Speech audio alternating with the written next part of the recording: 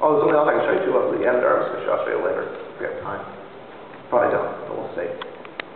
Um, all right.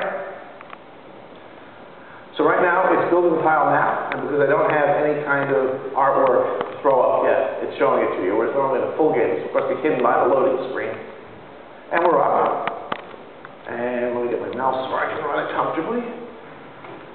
So uh, Right now, I am representing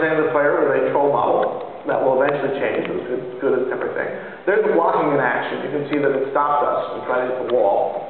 We're going to go around. Here.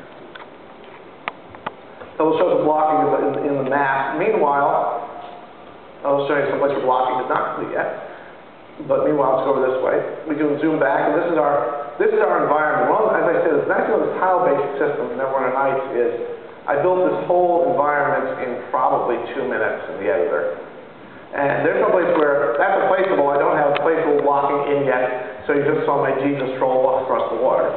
That won't, that won't be true forever. but you can see that this is part of the, of, of the tile itself, and so it does walk there and stop.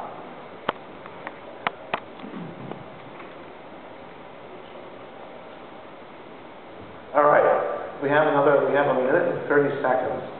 Something you might also enjoy seeing, if I can do get up in time before I'm done, I promise I get done on time. I mentioned I have this, this uh, browser